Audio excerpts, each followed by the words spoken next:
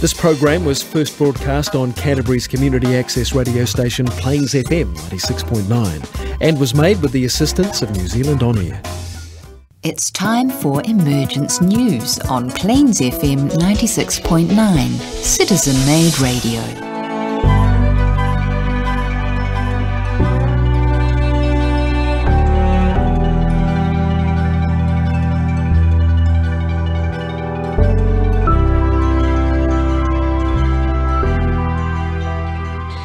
Tēnā and greetings to all from Emergence News here at Plains FM in the garden city of Christchurch, otherwise known as Ōtautahi, Aotearoa, New Zealand.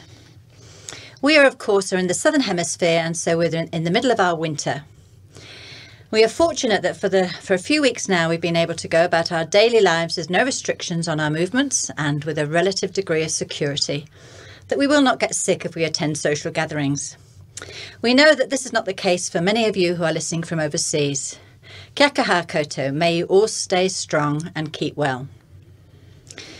Our purpose here at Emergence News is to keep telling the story about the physical advent of a group of beings who are here helping, guiding, and inspiring us during these difficult and challenging times.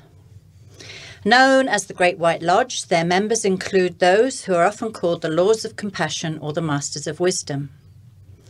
They have lived the lives we are living now, struggled through all the lessons and challenges that this earth life gives us, and emerged from it with a mastery of themselves and the energetic forces of this reality. Many who achieve this go on to greater learning, mastering planetary and cosmic forces. But these masters have made the great sacrifice of staying with us, their younger brothers and sisters, to help us too become masters of ourselves. At the head of this group is the Master of all Masters, the great Lord of Love, Maitreya. He is the world teacher for this time and embodies the Christ energy. He is the expected one prophesied by many of the major religions who expect the second coming of their particular deity. In the April edition of Share International, we have a report from Israel today of a highly revered rabbi, Chaim Kanievsky, that the Messiah is here. He states that not only is he here amongst us, but that he himself has been having meetings with him. We'll talk about this more in later in the program. Also today we're talking about the group of New World servers who have and are incarnating on earth at this time with the sole purpose to serve the plan of God and bring the new age of Aquarian energies. They are all ages, all genders, comes from all walks of life, they might be members of different religious groups, but their true allegiance is to their own souls. They come from different nations and cultural backgrounds, but they serve the world first. They are truly representative of humanity as a whole. Their only creed is the love of humanity and their desire to serve the greater good. They do not necessarily know each other, but can recognize a fellow server through the similarity of vibration and the inclusiveness that they demonstrate in all their actions. They are the intermediaries between humanity and hierarchy, the inner government of our planet. From their ranks will be drawn those who will become the future governing body of this planet, thus releasing the present masters to even greater expansions of consciousness. So here in the studio today, we've got John and Peter. Hello, Hi there, Shafia. Always nice to be with you guys. What are you going to be talking about today? Well, John, you tell us first. Okay, um, I've been tasked by Shafia to go and have a look around the topic of new group of world servers. So I have fossicked around and come up with some stuff. Great. Good one. Yes, and I too have uh, looked at one or two examples of um, various uh, people around that uh, demonstrating that sort of ability. Oh, great. Mm. Look forward to it. So, this is exciting news, isn't it, about this rabbi? What do you think about exciting. it? Well, it's interesting because they have such standing in their community. Mm-hmm. And I think you mentioned earlier that it's a brave thing to say. Yes, it is, isn't it? To put the, your head above the parapet. Yes. Mm. Yeah. And I guess also that when Jesus appeared in Palestine, yeah. Judaism said he wasn't the Messiah. Yeah. So maybe they're patting themselves on the back and saying, "We waited long enough to get the real thing." Yeah, who knows? yes, it would be interesting to hear what they're saying, wouldn't It it? will be to, to be able to interesting, yeah. stand. Yes, and interesting to see the um, how the um, so-called Zionists take on this thing because they've claimed to be Jewish but uh, don't demonstrate any of the religious side of Judaism, do they? And is it the same group of rabbis that have been critical of modern Israel? Yes, uh, probably it is because they're um, the you know the really the uh, ultra orthodox. Aren't Yes, they are. Yeah. So Yeah. they are the religious um, the religious people of The religious group of, the Jewish watching people, the yeah. political group. That's right, Yeah. definitely. Yeah. And uh, yes, they're um, they're not too proud of some of their uh, activities of the, the so-called Zionists. But uh, you know, apparently these um, the other rabbis have been saying, telling their people to you know to prepare, to study, to you know that it's happening soon, and and it certainly would seem like in the world, wouldn't it, that you know we all, all the things we've talked about over the years that we're coming to that point of of tension where you know something's got to change. Certainly the That's tension. right. Yeah. Yeah. Okay, John. So you're going to talk to us a little bit about this World Service. Yes, well, it's been very interesting. And as I said earlier, I started fossicking around. I got into the uh, Share International website. Mm-hmm. And actually, um, our absent fourth, Nigel, and we should probably have a moment silence for Nigel, uh, which was just edited out by our producer, Laura. Thank you very much. Um, he sent me a very interesting quote out of a book by Foster Bailey. Now, the book is called Changing Esoteric Values. Foster Bailey is the was the husband of Alice A. Bailey. Mm-hmm. Changing Esoteric Values, published by Lucis Trust. And here's the quote, and it's going to kick off my exploration of this new group of world servers. Here we go. Spiritual factors of value to esotericists today are included here with clarity and vision. Esotericism is shown as a practical science of service in which the subjective and spiritual aspects of life can be related to human need and world affairs in effective ways. The old tendency in spiritually awakening people toward isolation from mundane daily life and to dependence on a so called spiritual authority is ending. The esotericist is also a man of goodwill and a member of the new group of world servers, responsible for the well being of the human race in conformity with the divine plan. He learns and grows through the results of his own experience in relating spiritual principles to daily life. Mm-hmm. Really interesting take. So I followed this link, went back into the Share International website, and Benjamin Creme's been asked a lot of questions about this phenomenon. Mm-hmm. And he's asked, are they more sensitive to the energy of the avatar of synthesis? BC replies, Benjamin Creme replies, So before you go there, who's the avatar of synthesis? well, maybe we could come back to that because Okay. that is a very big topic. Yes. so BC has said when Christ, um, when he came before in Palestine, the Christ found there were not enough servers, disciples in the world through whom he could work, who could have prepared the way for him, and through whom he could sh- construct the new civilization at the time. So in 1922, Maitreya therefore inaugurated this group of new world servers, which is the most important group existing in the world, although it has no outer form or organization. Each member of it is related subjectively, i.e., on the inner soul level, to hierarchy. They know and understand the plan or their part in it. On the outer plane, there are two groups one large group, unaware of their subjective link with hierarchy and working only under impressions from masters. The other small inner nucleus, which works consciously on the outer plane under the direct supervision of the masters. Creme goes on to tell us this group is made up of men and women of all levels of society, members in every country without exception. And apart from the war years, have been promoting the principles of right relationship, sharing, and justice. Creme tells us they are to be found in educational, political, economic, and scientific fields. He calls them the forerunner of the Christ, the vanguard, sent ahead to prepare the way. From their understanding of their plan, from their altruistic love and humanity, from their desire to serve, They are the guarantee of the correct working out of the plan of hierarchy of which they are also part. It's a really interesting concept that he's saying that they go out into the community, some consciously, some unconsciously, doing this. Hmm. He goes on to say that some are fairly advanced indeed and work directly with the masters, but he also says the majority have never heard of the masters and work under the filtered down inspiration. And we've talked before about the initiate who doesn't know they're an initiate and who's doing The work in spite of th- yeah everything else around it. it's and the quote I thought was interesting is you don't have to know you're a spiritual to be spiritual. No. No. And so there are many people that you and I know who are behaving in what we would define as a spiritual manner, but would not consider themselves spiritual people. That's right. Mm. And this is this is what Creme is saying. He's gone on to say, according to my master, the people of the world can be divided into two kinds, and this is written in 1998 those who compete and those who cooperate. Benjamin Creme said that's an extraordinary statement.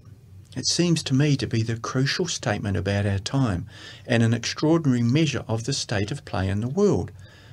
Two great forces exist today the reactionaries looking backward because they love the past, grimly holding on to the old, the useless, that is which breaking down, falling apart, and those who see the only way forward is through cooperation, who come into incarnation ready to cooperate because they are disciples and initiates.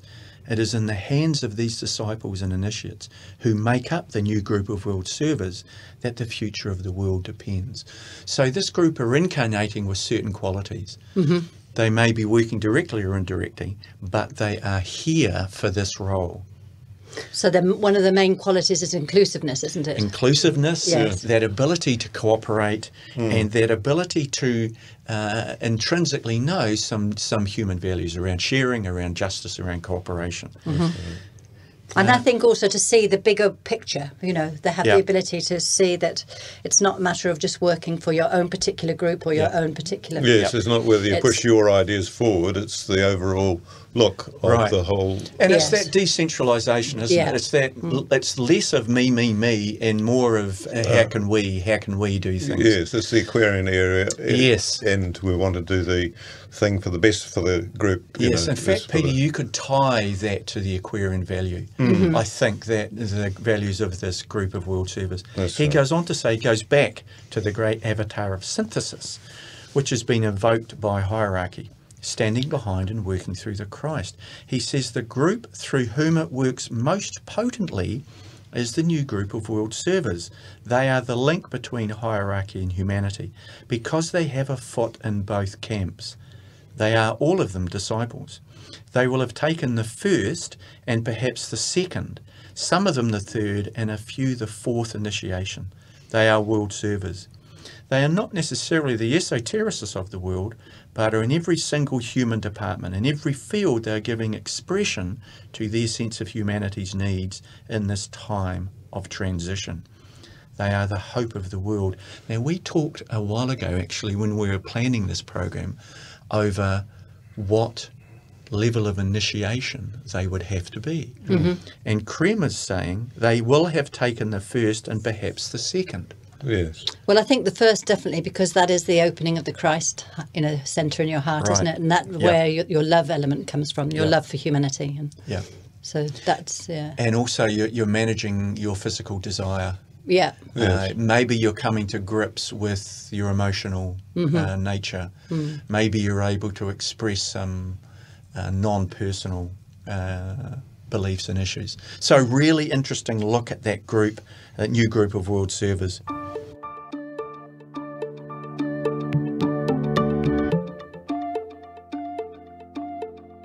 Well, um, I've been tasked with finding one or two of these people that we know, and um, the first one actually came to mind was uh, Nurse Maude, an example of an early person of the group of the World Service.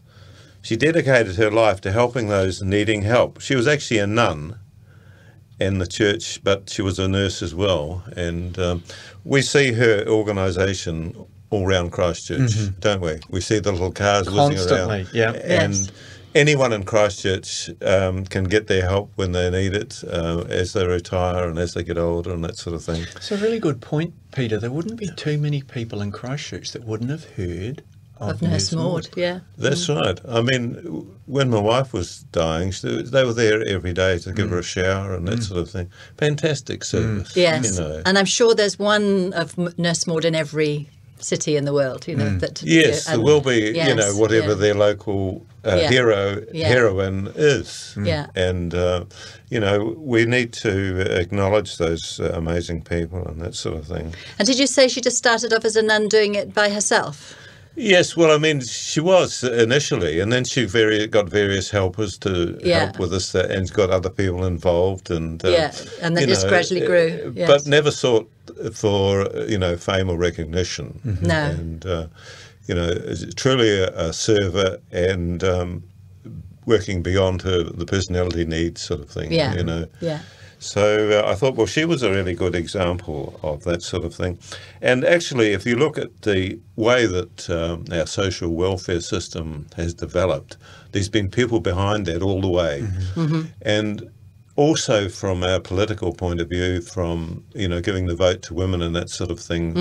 Uh, in many respects, New Zealand has sort of been right there in the forefront, and uh, you know, on on occasions, hasn't it? Yes. Yes. And um, our social welfare system, to me, is um, maybe not a world beater, but it's certainly up there with um, the social welfare systems of, and could honestly shine a light to many of the co- countries around the world. It's a really good point, Peter. It has survived in this country a succession of neoconservative liberal governments Yeah. that have tried and tried and tried to chew it away. That's right. Yes, to cut the funds to Yeah. do this sort of thing. And it has retained a Yeah. degree of its of its effectiveness. Oh yes, it's, you know, to me, it's um, uh, you know, as Shafir was saying, that maybe uh, some of the Scandinavian countries have got a, a better grasp on it, perhaps, but uh, they certainly pay a high tax on that as well.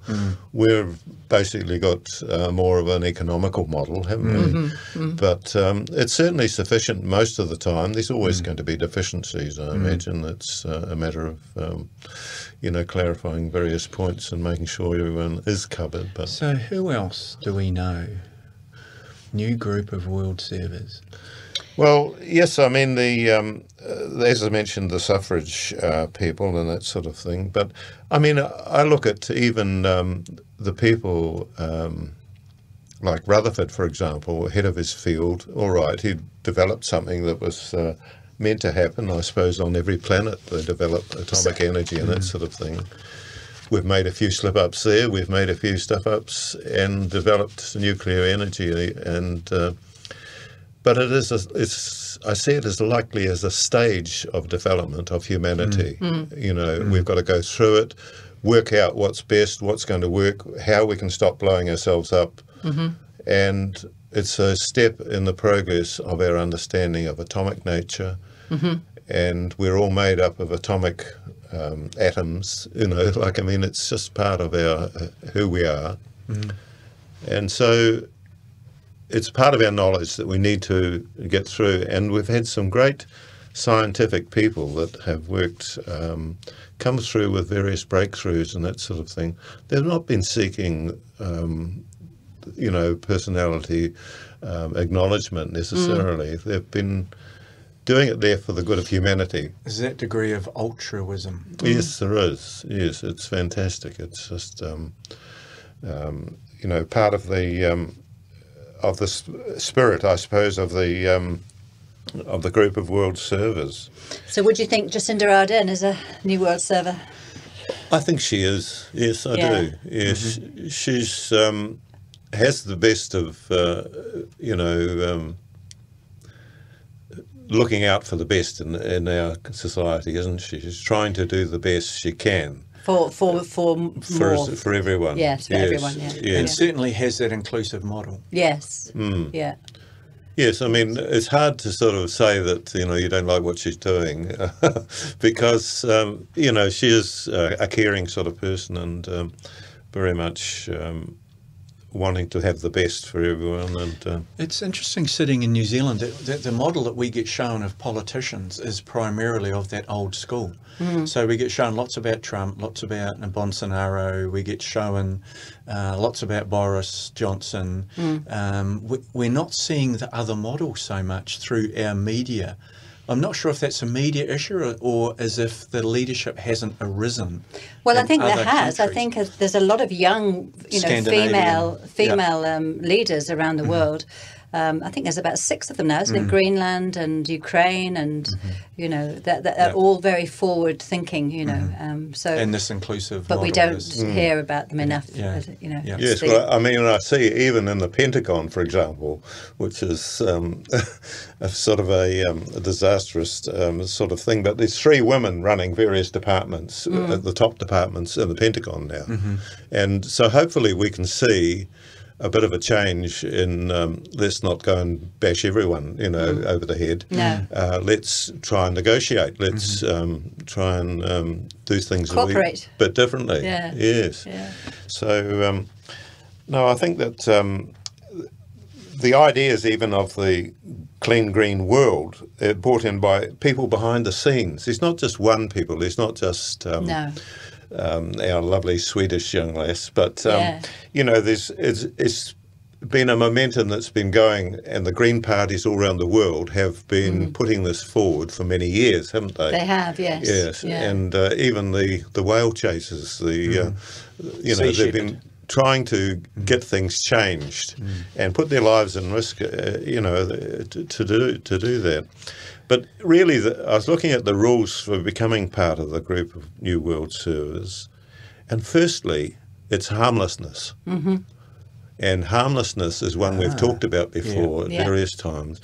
And it's a wee bit hard to define, but you know, it just means that we're not creating chaos wherever we go. We're sort of um, deciding definitely that we will, um, you know, not put the personality ahead, but more the altruistic side mm-hmm. of things, don't you think? I guess it's one of those things too where you have to run a ruler over your life and say, I'm mostly harmless. Yes. There are times when I'm a little harmful. Yes, that's right. Yes. Uh, are we striving for perfe- perfection to get into this club, or Yeah. or we're able to say most of the time I seem to be getting it? Yes, well, Yes. that's right. I mean, even 51% is possibly a good number.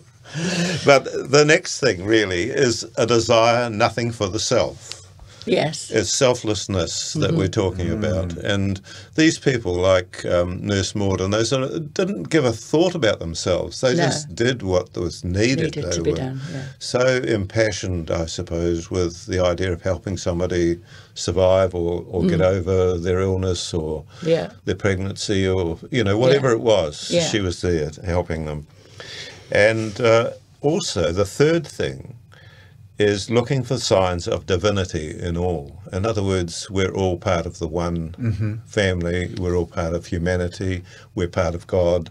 Whatever you Seeing know, whichever way people. people bring it about, this is how they determine it, isn't it? That sort of the divinity is really what do you make it.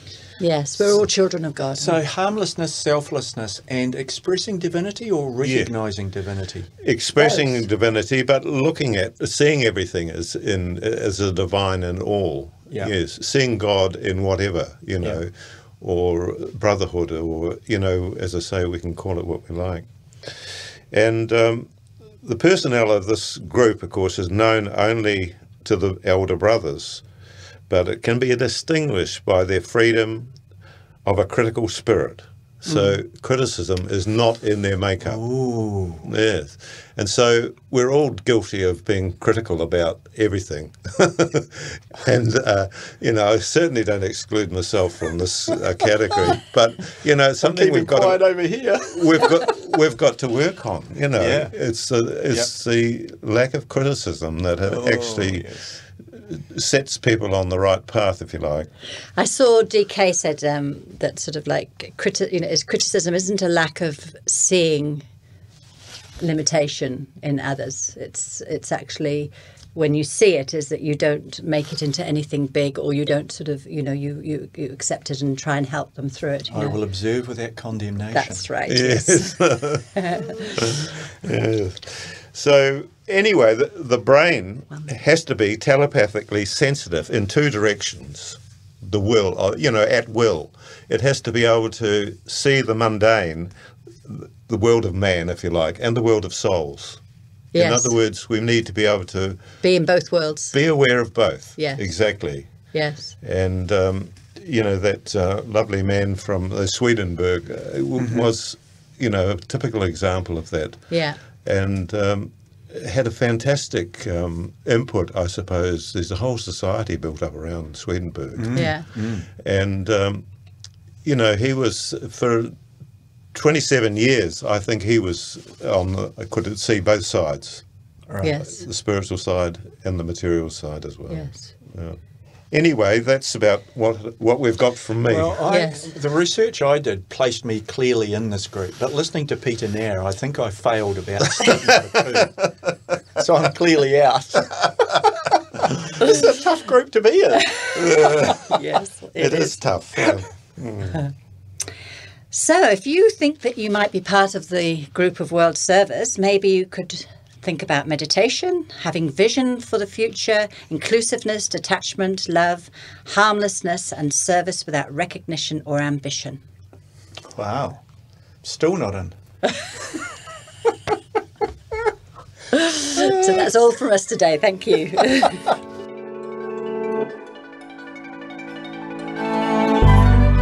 All this information can be found on the Share International website www.share-international.org. Scorpio Books in Christchurch carries a magazine and some books. And also don't forget the podcasts which are available on the Plains FM website. we welcome your comments, questions, and feedback. Please contact us at emergencenews at gmail.com. The opportunity to join our transmission is available Monday and Wednesday evenings and Thursday mornings, which gives us the possibility to do a service meditation in conjunction with Masters.